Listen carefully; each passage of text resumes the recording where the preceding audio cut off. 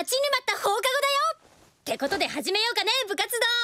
意義のあるものは？なし。満場一致でってレナは？ごめんみーちゃん。今日も用事があって。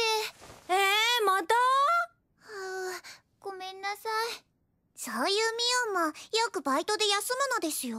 いや親戚のおじさんに頼まれると断れないんだよね。頑張って全部終わって今まで通りになったら絶対戻ってくるから。待ってるよ。